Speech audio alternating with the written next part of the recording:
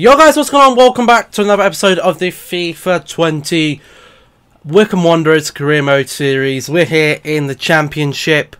As you can see, um, we're in the wrong thing. We need to go to here.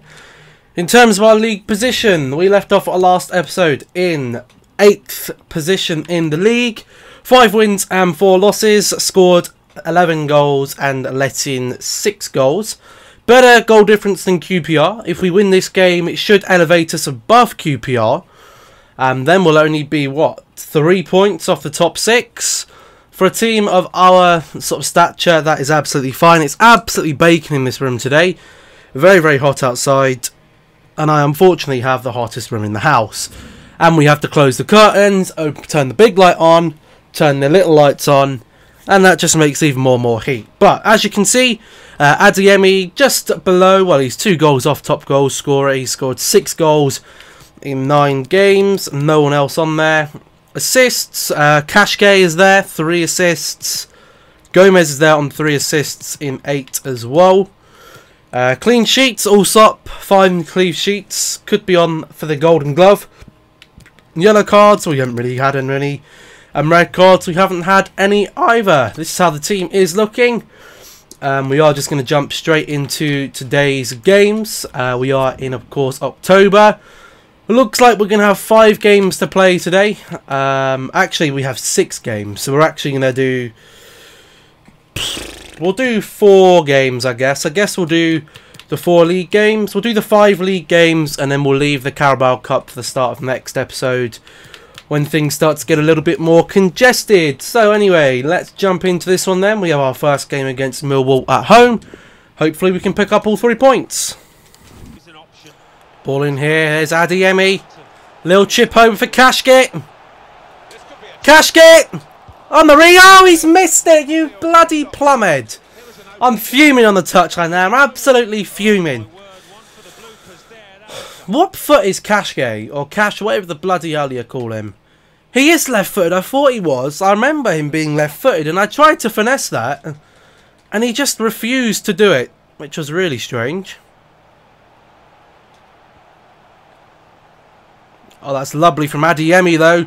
Here comes Adeyemi. He's been pushed off the ball. Gomez, it changed me from him. Oh, this bloody game. What a save, Allsop. If Millwall get a goal here. That's injustice, man. We've been dominating this half. Here comes the corner. It will be a corner again. Thought that was in. Jesus Christ. Come on. In goes the corner. Oh my god, the goalkeeper, what are you doing, bro? Oh, big save again from Allsop. We're getting dominated now. Millwall are slowly getting into this game. We can't get out of our own bloody half. Here's Cash K. Cash K. That's lovely beating the man. And he can't get the ball in the box. Oh my god. Nil nil then at half time. And the stats are probably going to look in Millwall's favour. But, I mean, Allsop has kept us in this game. There we go. But it's been a very, very tight game. But Millwall have been handing us in. We haven't been able to keep possession.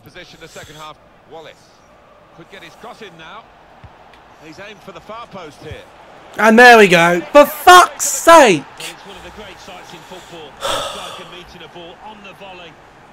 Look at this. What a cross.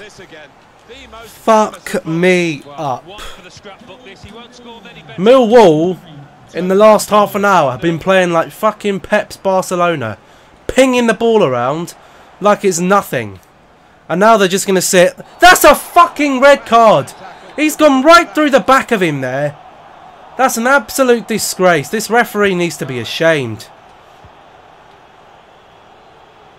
There's no space for anyone. Here's Shackleton. We got no one to bloody pass to. No one to pass to. Look at Millwall sweating it out. For fuck's sake, we've lost the game. A 1-0 loss to a fucking, like, Millwall turned up like they were bloody Barcelona. Look at that, we got dominated. Oh my god, that's so annoying. That's so annoying, so frustrating. We could have gone three points off the top six, but we bottled it. We absolutely bottled it. We'll just grab a minute of your time for a few Difficult game. Uh, well, it was low confidence, but whatever. We couldn't play our usual game because they was sat 10 men behind the ball. And uh, he's a really good player, but fuck off. Like, there's no way. He just fucking cunted that ball in the back of the net. Parker, mate. Whatever. I don't really care. Oh, Akinfenwa wanted to play, but you know what? Squad rotation's important, mate. You're not going to play in most games. You're old as fuck. Alright, uh, just as we finish that, we have uh, another game against Derby. The team is still fucked, so we are going to have to make some rotational changes where and if we can. So let's just have a look at this here. We're playing our away strip. What can we do? Adeyemi's going to take a rest. Uh, we might as well rest the whole team, really, if we can. Apart from De Vries, because I think he's still injured, so I'm not going to risk him. Uh, Wheeler will come in on the right. Uh, Foba will come in with Thompson. We got Grimmer on the right. We'll play Maskell on the left. We'll play Jambati and Phillips in the middle. And Stockdale will come in there. Go on, hit it! Freeman, what are you going to do? We're going to have to play it all the way back there. I think we just need to keep the ball a little bit more. Keep our possession. I say that, and then we go and lose that silly pass there. Ah.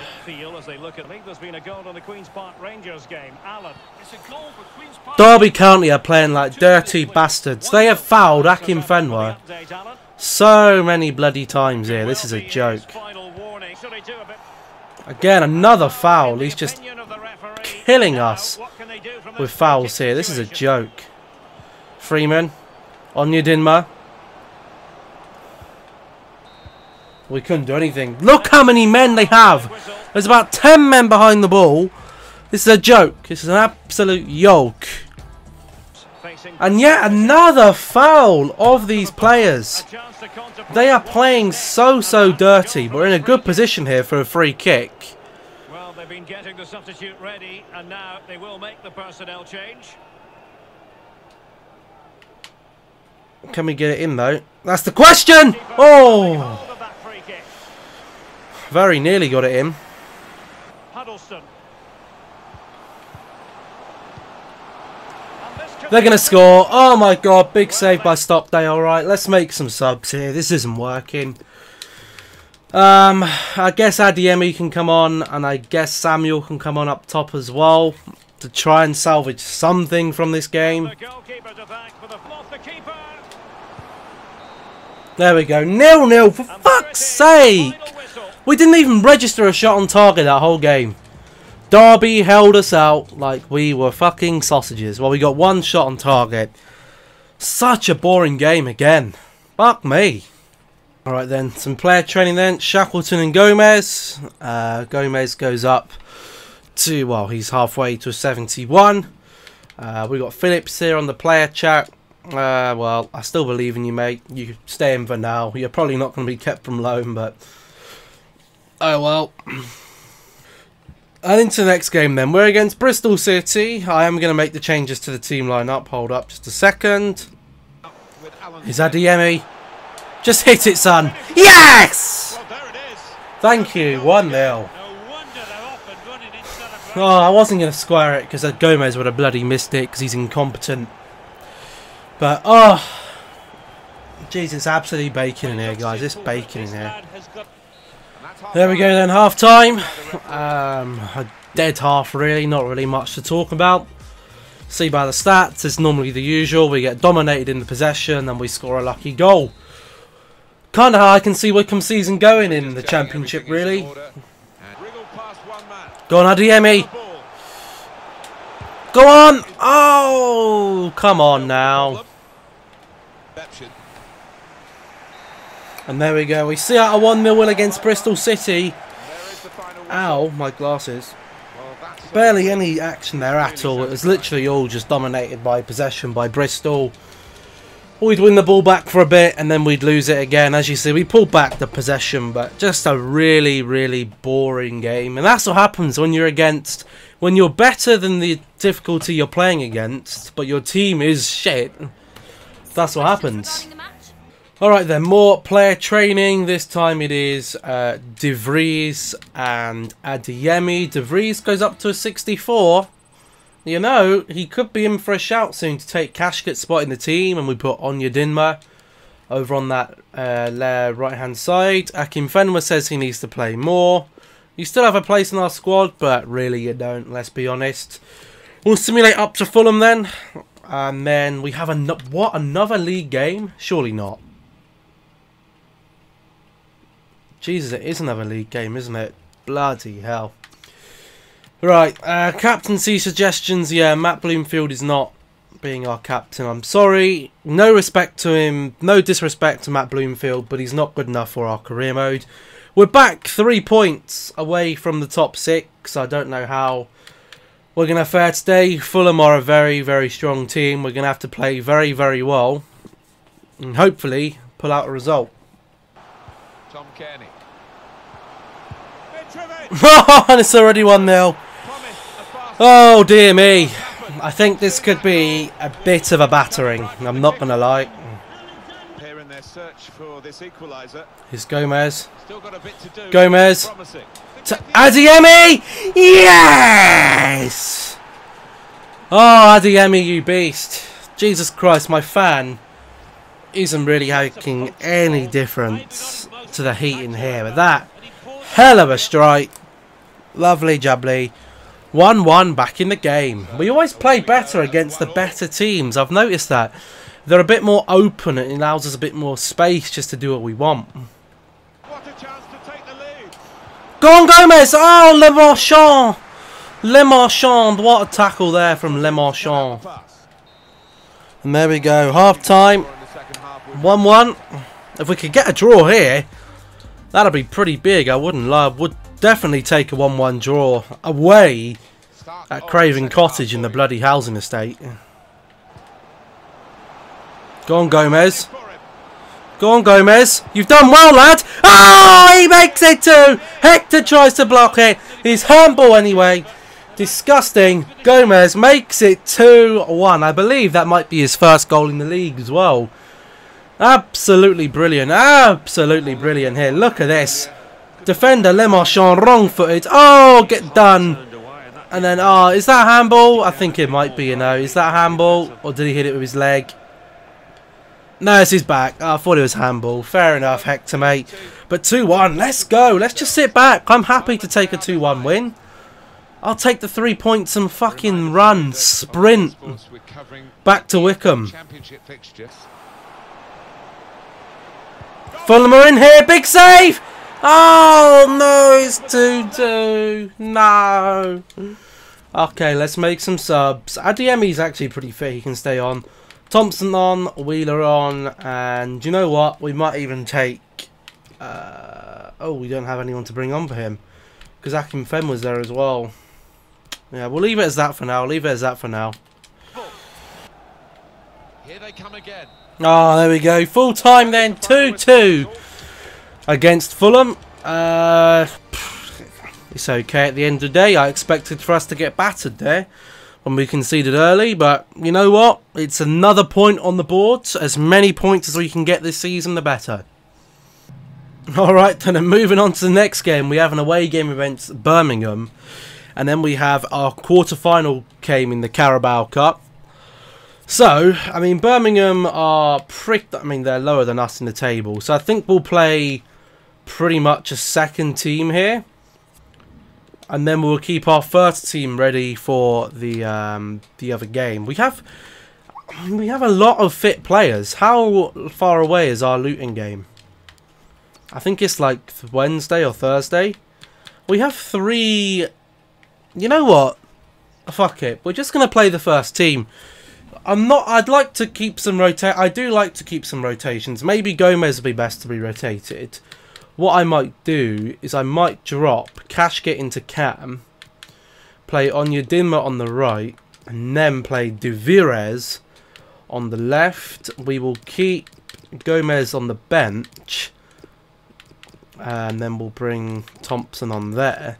But apart from that, I'm pretty happy with the team. I mean, we might play Wheeler for Onyedinma, but apart from that, the rest of the team is pretty much full fitness anyway. So we'll just go into this game and again, see how many points we can get. Ball over for Wheeler then. What can Wheeler do? He's going to hit one. Oh, So close. It was a decent op- It's a neat pass. here's Adeyemi then. Oh, makes it 1-0. Lovely jubbly. Adeyemi gets himself on the score sheet again. What a debut season he's having so far. Oh my goodness me. Lovely goal. Our number 14 there. Look at that. Lovely ball in. Wrong foot's the goal, the defender. Near post OP. Is Lovely goal. 1 0 up. Let's go. news of a goal at Lof- And in it goes. Oh, what a header! Who was that? I think it's Adeyemi again. McCarthy puts a lovely ball in. Adeyemi makes it 2 0. What a header that was. Holy shit. That was a beautiful header. Beautiful stalking header there. It's all about the Look at this. Lovely ball in. Adeyemi comes from absolutely nowhere. Just corks it. What a bloody header. 2. 2 0 up. Lovely jubbly. Oh, great chance. Big save from Allsop there. Allsop's been fantastic this season, you know. He's made some bloody good saves. And there we go. 2 0 victory there against Birmingham. Another solid performance. Another three points on the board. A fairly solid game, but at least we had some shots to show this time for it. God damn it. And moving swiftly on then to the final game of this episode. It's against Luton Town at home in the EFL Cup. As you can see, we are in the last 16 of the tie. Uh, United have gone through, Spurs through, Newcastle through, Chelsea through.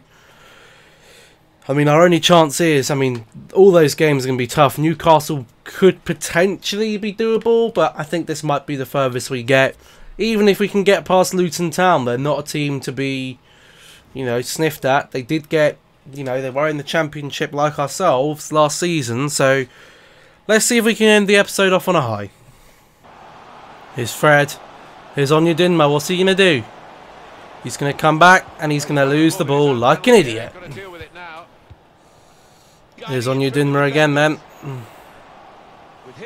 What's he going to do this time around? He's going to try the same thing. He's going to try and come back inside.